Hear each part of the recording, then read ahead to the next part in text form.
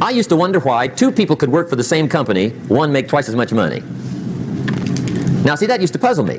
And maybe they were the same age, graduated from the same school, live in the same community, work for the same company, with the same products and the same services. They've got the same traffic, the same problems, and one makes a thousand a month, the other one makes two thousand a month. Now that was my puzzling question. Why would this long list be the same and the money twice as much? Well, back then, with my faulty thinking, I'm trying to reason it out.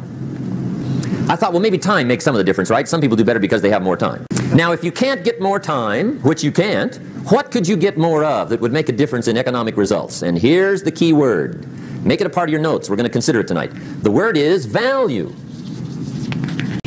And I have a little phrase for your notes. Value makes the difference in results. Value makes the difference. You can't get more time, but you can create more value.